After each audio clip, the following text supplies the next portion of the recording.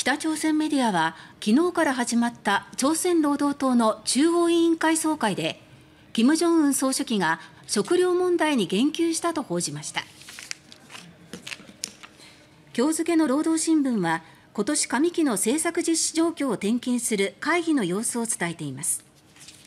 金総書記は去年夏の台風被害の影響に触れ穀物生産計画が達成されず食糧状況は緊張している。農業が党と国家の最優先課題だと強調したということです。また新型コロナウイルス対策をめぐっては非常貿易の長期化は経済を維持し人民生活を守る戦いの長期化でもあると述べ経済との両立を支持しました。